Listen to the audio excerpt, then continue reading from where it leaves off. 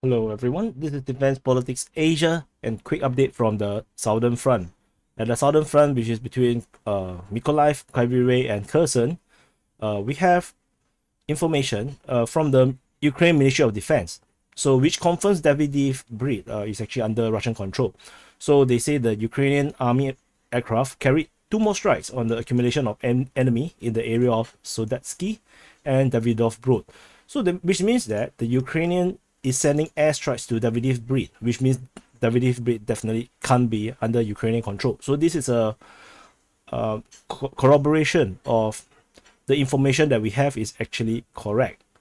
Um, let's see. I not I can't remember when this is. Uh, so there was fighting in the area of Luzov. So the yeah, so this one was the way how they position this is that uh Luzov seems to be under Ukrainian control, and then uh the Russians actually tried to attack and then they they retreated uh, without uh, trying after heavy fire. Uh, however, the word they use is area of Luz Luzov. So it could be the Russians from Luzov tried to cross over and then they got fired upon from Kalikiate So so that could be the case.